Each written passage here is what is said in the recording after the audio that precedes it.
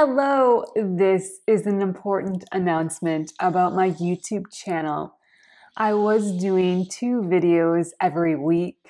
On Sunday would be the main video, and then on Friday it would either be question of the week or Friday funny. And I thought this would give a good variety to my channel.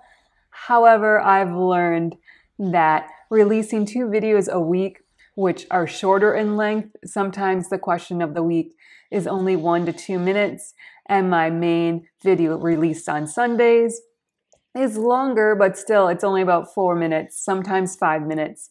And I've learned through watching videos about YouTube analytics that YouTube likes longer videos because it helps the metrics. YouTube only looks at watch hours. So if you have a video that's one minute long, and even if 100% of your viewers watch the entire video, it is still only one minute. Versus if you have a 10 minute video and people watched on average two minutes, well, now they've watched twice as much of your video as the one minute video.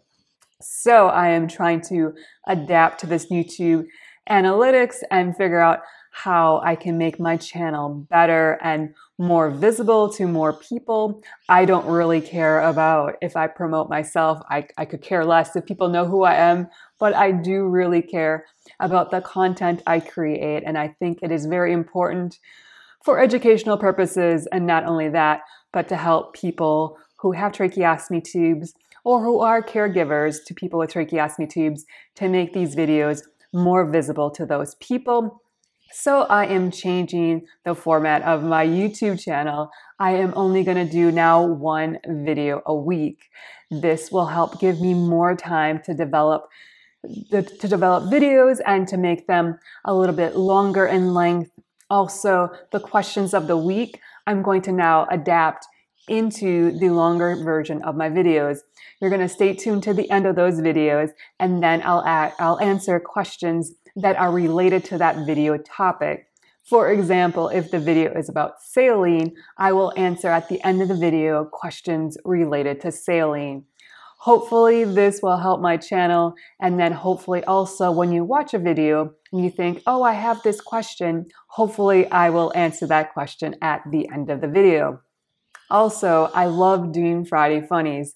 I don't know if I'm going to continue doing any of those in the future, but what I will do is if I have a funny story or some funny anecdote, I will include it in the longer form videos that I'm going to be releasing on Sundays. So watch out. They will hopefully be a little bit comical and funny intermixed into the regular longer form video.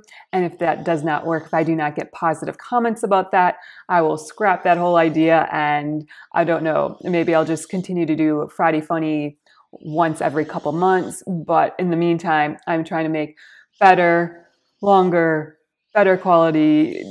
I don't know. I'm just trying to make things better for this channel and better for viewers and just make it more visible. So I'm very sorry that we're going to be changing. I know a lot of people like the questions of the week, but they are really hurting my channel. I cannot tell you my analytics since starting the question of the week, how much my analytics have gone down, down, down. so I'm trying to go up, up, up in the analytics and getting rid of the questions of the week as a separate video, I think will help this. And instead, you're just going to have to watch the longer form videos and wait for questions at the end. If you do continue to have questions, please feel free to email me, instant message me, uh, Instagram, whatever you need to do. I will answer those questions that way.